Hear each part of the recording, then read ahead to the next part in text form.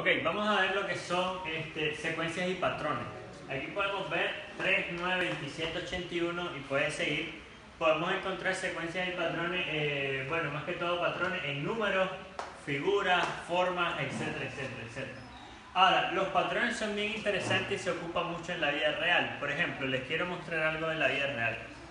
Este es un patrón de el cambio del euro con el dólar. Si podemos ver, esto va siguiendo un patrón que no precisamente es uniforme, pero ahí vemos cómo la moneda va subiendo y bajando.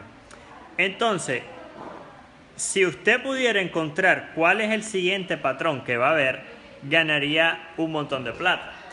Vamos a ver aquí, veamos. Por ejemplo, aquí hay cinco transacciones abiertas que están todas en negativa, pero ellos están identificando el patrón para que estas transacciones se vuelvan positivas y nos permita este, ganar dinero.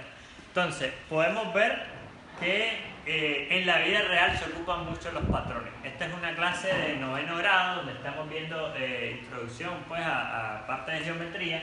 Aquí tenemos otros patrones sencillos, por ejemplo, este baja de 5 en 5, este aumenta multiplicado por 3, este va aumentando un lado, pero cuando vamos ya a la vida real eh, no precisamente es exacto. Pero buscar patrones y entender este tema te puede hacer ganar mucho dinero. Gracias.